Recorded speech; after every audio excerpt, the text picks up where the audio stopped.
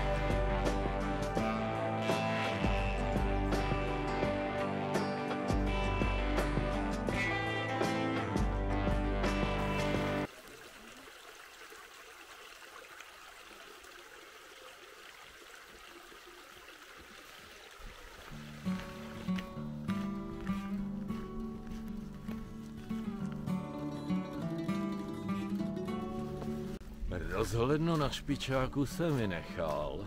Sice je to kousek, ale je mlha jak mlíko, takže stejně nebude nic vidět. Takže zajdu dolů k druhému jezeru a pak se tam vydám takovou pěknou cestou, která vede takřka po rovině, po vrstevnici až na to sedlo a tam si když tak sednu a pak, pak uvidím, až se zvednu.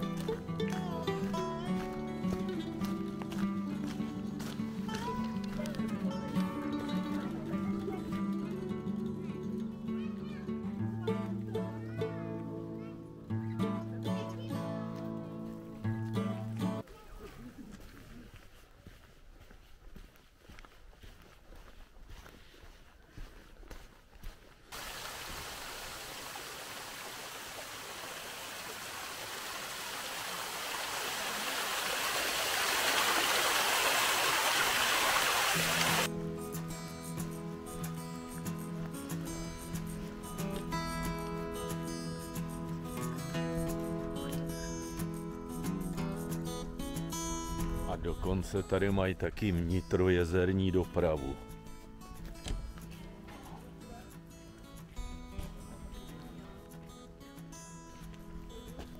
Sluníčko má snahu se vyklubat z mraků, tak jsem se lehce poodhalil a možná, že budou i výhledy, ale nevím, nevím.